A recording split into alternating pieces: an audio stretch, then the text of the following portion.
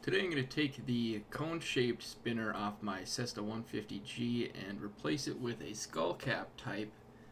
The reason being the cone type blocks way too much of the oil cooling uh, air inlets and too much of the uh, inlet in the front of the cowl. Uh, there are the part numbers, both bought from Aircraft Spruce, pretty reasonable. I think the whole kit was probably 50 bucks. All of these are Phillips head. Make sure you got a tight fitting one so you don't jump out of the screw and scratch your paint.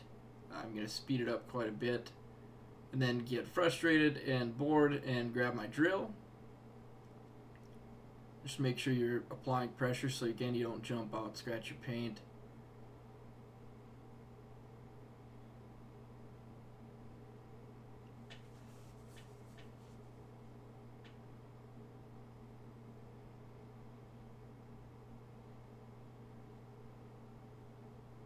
Once I get this off, you'll see that there's a front and a back plate, one in front of the propeller and one behind. I didn't quite realize that I'd have to have the propeller off, but I will end up taking that off for this video and to get that back plate off that I won't need anymore. There are the plates I mentioned. Uh, test the fit of the skull cap spinner. Obviously I don't want the plates on as well, so I'm going to take those off, cut off the safety wire for these uh, six bolts that hold on the propeller. Make sure you keep all the bits of your safety wire. You don't want them inside the cowl or in your truck tire.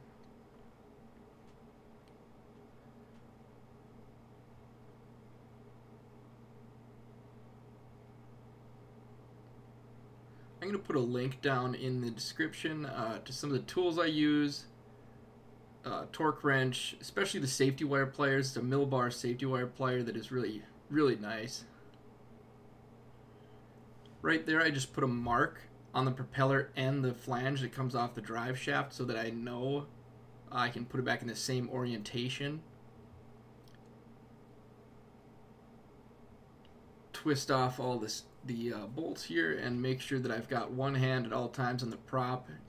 It's pretty snug and I'm you're not going to see me actually get it off because I have to wiggle it back and forth till it comes off. But make sure you don't drop your prop. Even a small dent or nick will wreck it. So now I've got it off. Get the backing plate off. And I'm just going to clean up the flange a little bit. I used a little bit of uh, penetrating oil when I was wiggling the prop back and forth.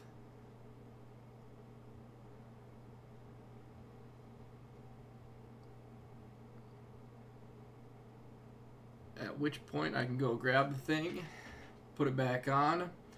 I'll check my mark to make sure I get the same orientation on the crankshaft flange. Make sure you mark with a good marker. If you do use some oil, make sure your oil doesn't take the mark off. And it's a pretty snug fit getting it back in the flange over those studs, so you, not the best camera angle, but you just kind of have to wiggle it back and forth until it seats pretty flat. I'm going to end up tightening these bolts in a star pattern, uh, kind of slowly working up around. That way I can make sure the prop is mounted to the flange perfectly flat.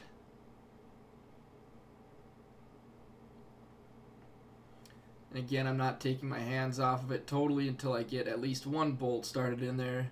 You do not want to drop your prop. It's not too heavy, probably 15, 20 pounds but uh, you do not want to drop it.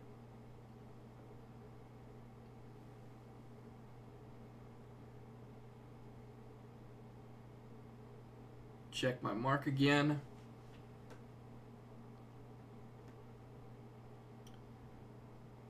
Get the bracket for the skull cap spinner. Again, these are from Aircraft Spruce. Came in a kit, the um, spinner and the bracket came together.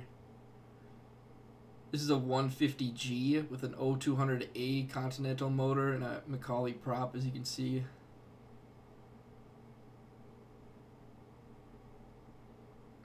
You can already see how big those uh, oil cooling holes look now below the prop. How much they were covered before. I think this is going to help with cooling a lot.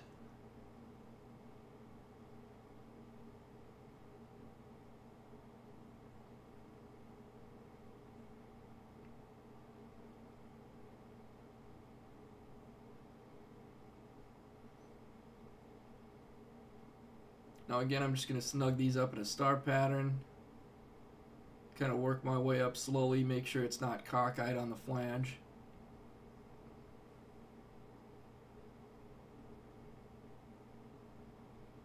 Then I'm going to grab my torque wrench and use this uh, table from McCauley. My bolts are 3 8 inch, so I'm going to use 30 foot pounds. And that's the diameter of the shank of the bolt. Uh, the head, these are 9 16ths. I'm using a nice 6 point socket on them. It's only 30 foot pounds, so it's not too terribly much. I'm going to torque them again. I'm working my way up in a star pattern.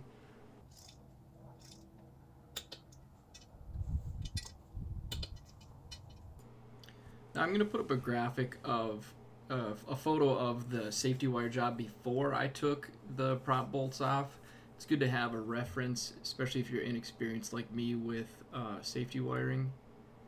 I'm going to be using 0.32 stainless aviation safety wire. I'll put a link to that in the description as well. Uh, and this pliers I use, this one's really nice. Um, I like that it's reversible.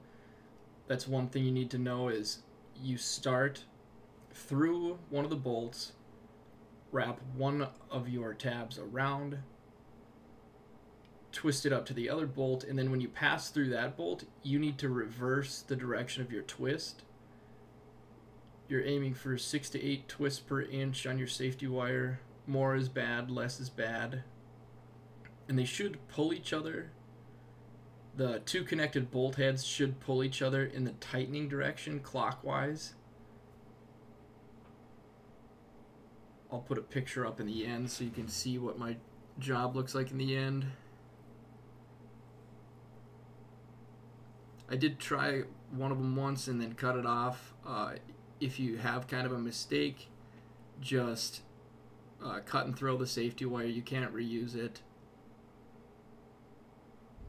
And in the end, when I pull this through, reverse direction, twist about 3 8 inch, half inch.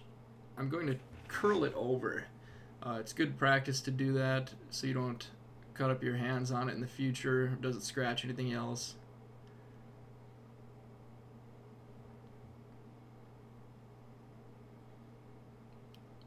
I found the less kinked up you get the safety wire before you pull it through the bolt, the better time you're going to have.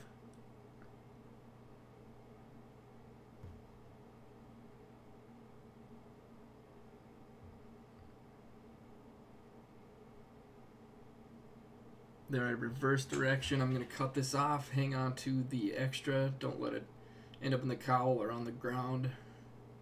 And I'm going to twist that end over.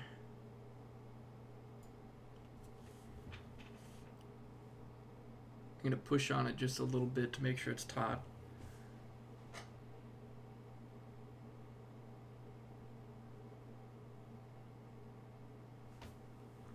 While I finish up the other two pairs of uh, bolts here, I want to point out how much you can see where the paint isn't covering uh, where that old cone spinner used to be. Uh, that's the whole point of this project is to get those two holes opened up, uh, get more cooling air into the bottom of the engine compartment.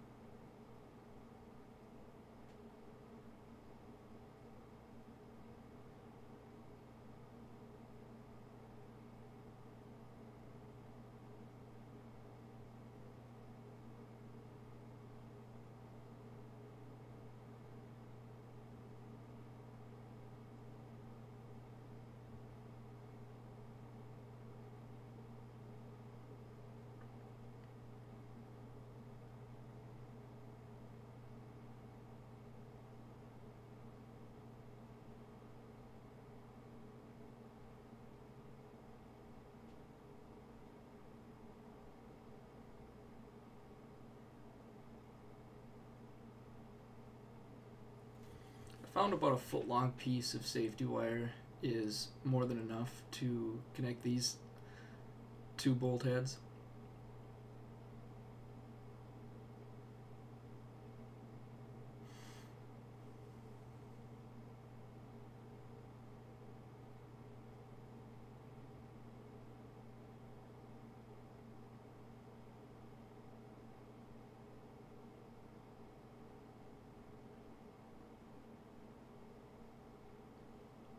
Once I get this guy complete, I'll put up an image of my finished job.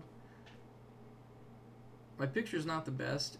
Kind of looks like they're not all pulling clockwise, but uh, I did look at them pretty closely in person, and they're all pulling to the to the right.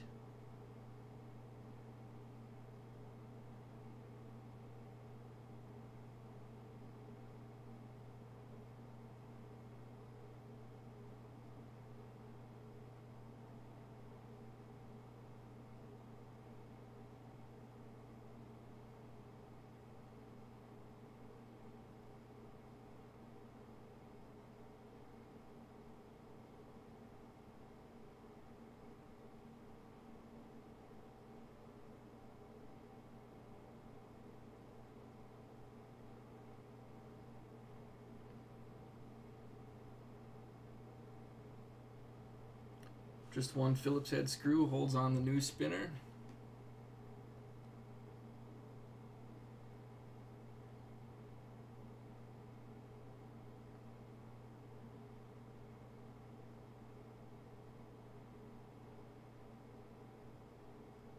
That'll give a front on uh, image of how much more of those cooling openings and how much more of the cowl is open to the slipstream now that that larger cone spinner is gone. I'm going to link a website as well where a uh, guy has a good breakdown of the different spinners you can get on these 150s and kind of a discussion of the problem of the cooling that I mentioned.